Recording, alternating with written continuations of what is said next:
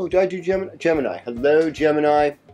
Welcome to your horoscope. So, now, what I was saying earlier to Taurus about Mercury a couple of days ago being where it's going to be when it goes direct again, that's true stuff. So, we're already in the Mercury shadow period. And this is not Mercury retrograde, so don't make a mistake about that. But Mercury is slowing down, it's in your fourth house. Fourth house is a fairly conscious house. It's a house that deals with memories. It's a house that deals with family. It's a house that deals with your tribe, your feelings of things. And there's Jupiter there, so there could be a sense of exaggeration. Also, wealth and good fortune. It's also the house of older relatives, especially your parents, grandparents. Um, some systems say especially the father. Um, you know, Vedic, they say especially the mother. I mean, I think the mother makes sense. Fourth house, kind of like the moon.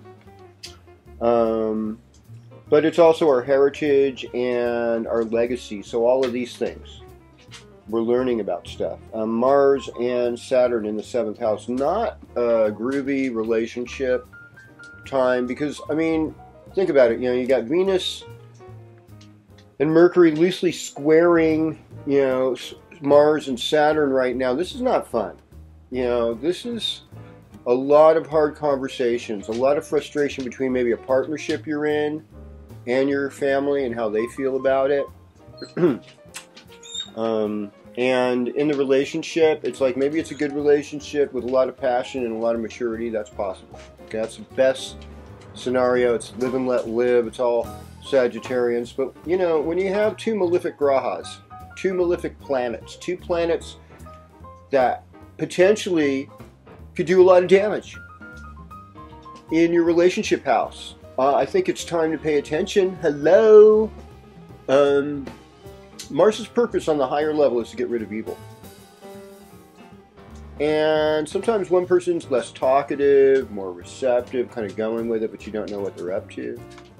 And then there's Saturn. What does Saturn do in relationships? Well, I mean, it can make it a mature, stable, relationship. It also can make it a depressing relationship, one where you feel stuck. You can't move, you can't get out of it, you think you're in it for the long term. So there's a lot of anxiety, you know, here in this department.